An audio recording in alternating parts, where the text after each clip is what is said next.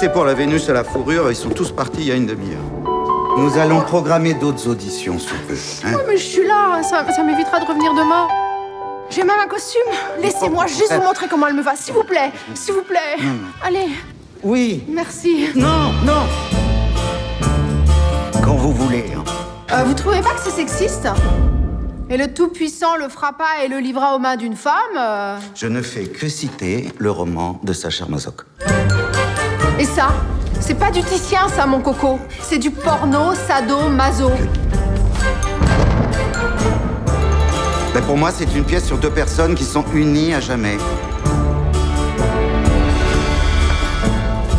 Cœurs sont menottés l'un à l'autre. Menotté dans la perversion. Non, menottés dans la passion. Sa passion à lui C'est chimique, c'est la rencontre de deux personnes qui met le feu aux poudres. Mais tout ça, c'est lutte des sexes et lutte des classes. Vanda est quelqu'un d'adorable, d'innocent, qui tombe par hasard sur un gros pervers. Non, mais vous comprenez pas, vous comprenez rien. Comment vous pouvez jouer aussi bien Vanda et être conne à son sujet à ce point? Au sujet du reste Putain de comédienne à la con Connasse